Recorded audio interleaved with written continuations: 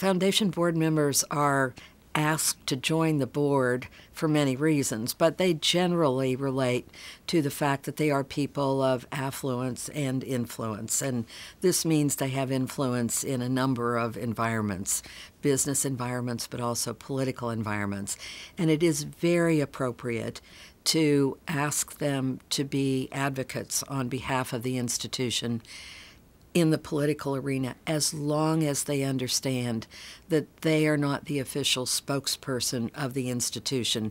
They're using their personal networks and connections to get messages put forward, but they're not lobbyists because there's a whole body of law and regulation around what it means to be a lobbyist. They're a friend of the institution that's serving as a communications bridge.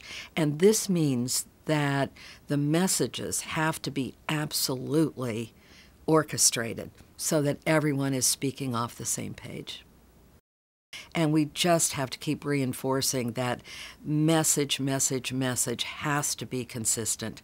Otherwise, you present an image of an institution that doesn't know what its priorities are. And that doesn't help anybody in the long term. And I think foundation boards, many with business backgrounds, understand that. There's a very strong rationale for why we are asking them to advocate in a particular kind of way and why we are asking them to stay on message. It is so essential that messages about institutional values, missions, priorities be consistent uh, because you want to be communicating that you understand who you are, that in effect you, you have your act together. You don't want to give the appearance of an institution that isn't engaged in following a particular mission and strategy. I think it's very important that board members be educated about the important issues that they're likely to be asked to comment on. Not just that they're given the message, but they understand the reason behind the message because they understand at a pretty sophisticated level the issues that the institution is dealing with.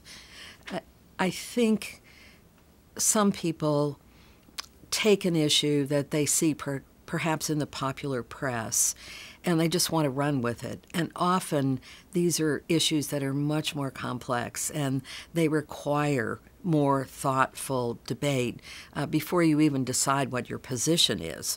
So we have to be careful to keep some of these discussions in the right context. And, and remember, board members are bright, engaged individuals who want to be helpful. So I think we have to go into these conversations about advocacy and outreach with an understanding that most everything is lined up to be right, to be positive. They they want to get it right. They understand the value of speaking the message that the institution wants to speak, even though they may do it with their own words, with their own friends and networks.